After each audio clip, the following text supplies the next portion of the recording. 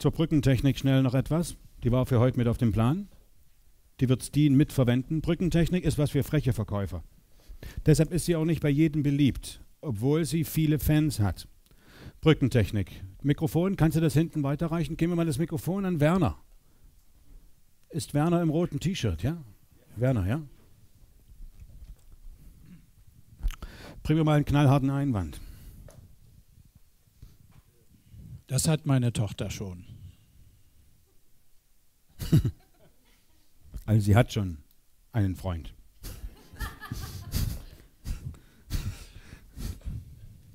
Ja. Das sagen Sie doch jetzt nur, weil Sie glauben, dass ich Ihre Tochter überhaupt nicht glücklich machen werde oder kann.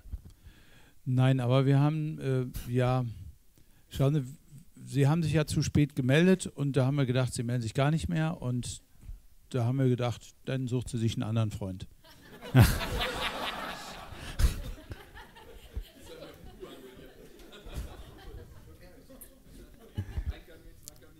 Das heißt, dann ist es Ihnen wichtig, dass Ihre Tochter die Gelegenheit bekommt, zu überprüfen, ob ihre jetzige Entscheidung die beste ist, die sie treffen konnte. Nicht wahr? Sofern Sie Ihre Tochter lieben. Das füge ich einfach mal. Das füge ich normalerweise nicht also dazu. Also da lassen wir erstmal nichts dazwischen kommen. Also, ich dann ist es Ihnen wichtig, Tochter, dann, ja. natürlich. Ja. ja. Ich wollte noch ein bisschen ja. Chili aufs Brot geben. Ja, Dann ist es Ihnen also wichtig, dass Ihre Tochter noch sicher sein kann, dass sie mit ihrer jetzigen Entscheidung die bestmögliche Entscheidung getroffen hat. Also, es ist ein Top-Typ. Hm. Dann ist es also von großer Bedeutung, dass ich das, was sie so gut findet und was off ganz offensichtlich auch Ihnen ans Herz gewachsen ist, dass ich nicht nur diese Eigenschaften aufweise, sondern darüber hinaus Lücken fülle, die Ihnen ebenfalls noch wichtig sind. Welche Dinge sind Ihnen außer dass er top ist, wichtig an einem Schwiegersohn? Boah, da müssen wir mal meine Tochter fragen. Das heißt, dann gibt es noch Dinge, aber die ganz offensichtlich noch nicht besprochen wurden, nicht wahr? Ja. Gut, ja, ja. ist okay. Ich bin auch ja, Vater, ich kann das vollkommen nachvollziehen. Was würde es für Sie bedeuten, wenn Ihre Tochter für ein offenes Gespräch nochmal zu uns, ja, zu dritt mit ja, aber die hat sich ja jetzt schon verliebt. Verliebt? Ja. Hm, wie oft waren Sie schon verliebt? Ähm, Dankeschön. Das heißt, das Gute kann immer noch durch das Bessere ersetzt werden. Das ist uns zu billig, ich weiß. Das Liebevollere kann durch das noch Liebevollere ersetzt werden, nicht wahr? Wie klingt es für Sie, wenn Ihre Tochter feststellt, dass die Liebe immer noch eine Möglichkeit mehr kennt? Ich Reden weiß. mit meiner Tochter. Prima. Was ja. ist denn der 28.05. bei Ihnen für ein Tag? Ja. Der 28. da habe ich Geburtstag. Ja, das ja. trifft sich super. Ja. Die Geburt einer neuen Sehnsucht. ja, also.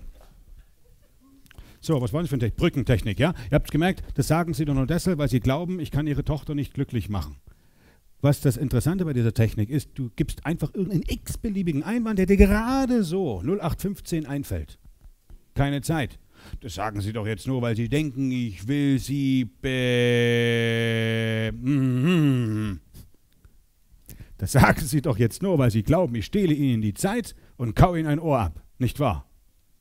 Wenn er Ja sagt, Einladung, dann ist es Ihnen also wichtig, dass unser Gespräch so und so und so verläuft, statt, wie Sie es vermuten. Wenn er sagt, und das machen die meisten, die korrigieren nämlich dann diesen kleinen Affront an seine Etikette.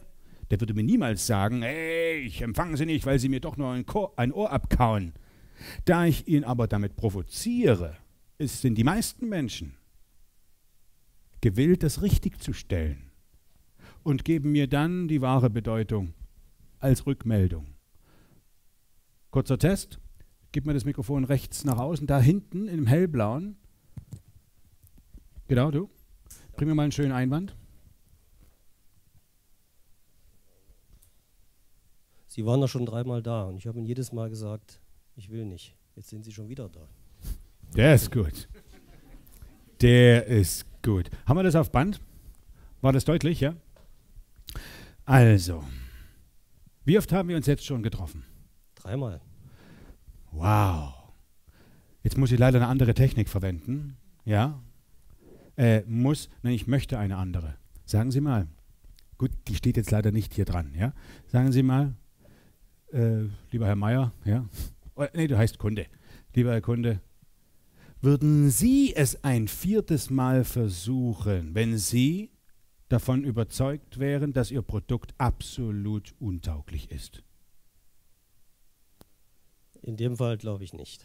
Wie erklären Sie sich dann, dass ich am Ball bleibe? Sie haben noch eine Überraschung in petto, die Sie beim, bei den ersten drei Mal Dann ist es Ihnen also haben. wichtig, dass ich noch was habe, was einen vierten Anlauf rechtfertigt. Ja, haben Sie noch was? Möchten Sie gerne? Das ist die Frage, weil wir waren schon dreimal. Ja. Ja, Gut, prima. Dann ist der 28.04. schon gebongt. Was ist denn das bei Ihnen für ein Tag? nicht mein Geburtstag, aber passt. Super. Nehmen Sie auch außerhalb Ihrer Geburtstage Geschenke entgegen.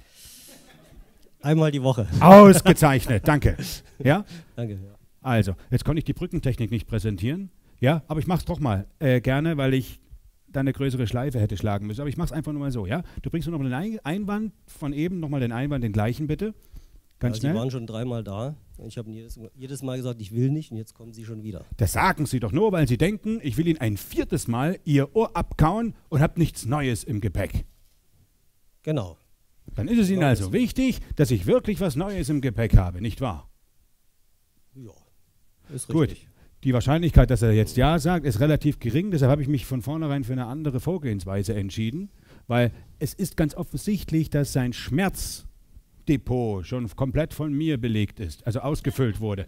Ja, dass es keine weitere Luft mehr nach oben gibt. Ja, gut.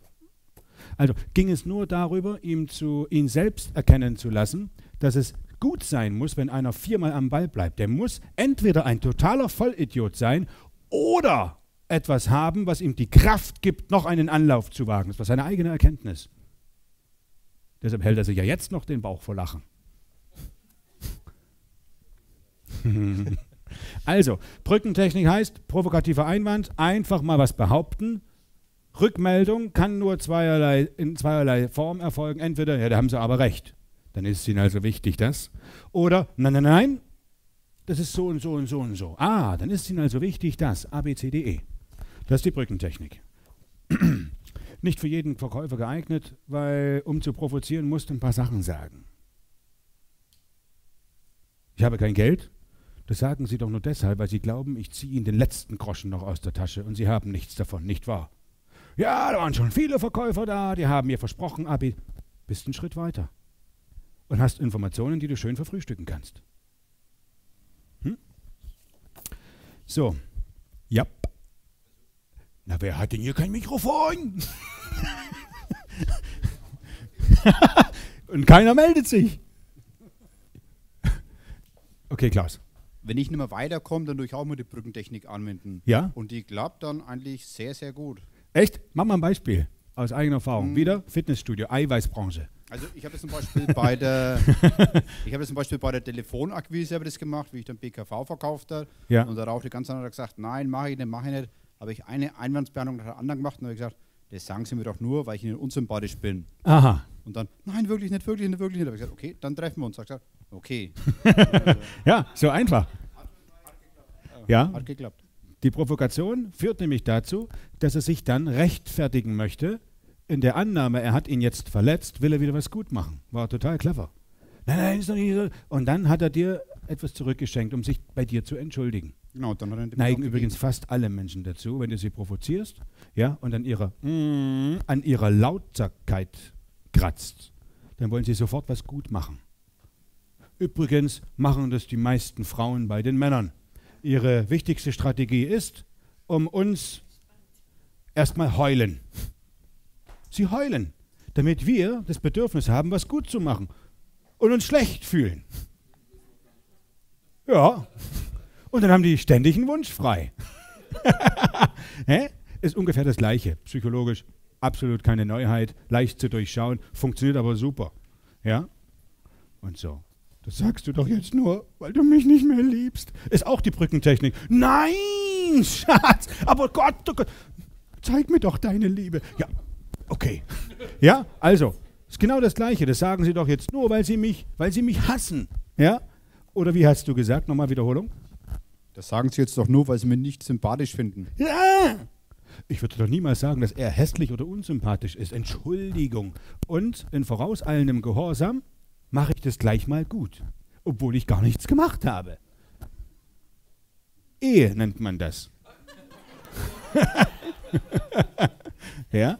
Er hat sich ja da auch dann dafür entschuldigt. Ja, extra noch. Sich für was zu entschuldigen, was er überhaupt nicht verbrockt hat. Ja? Aber okay, nennt man auch Ehe.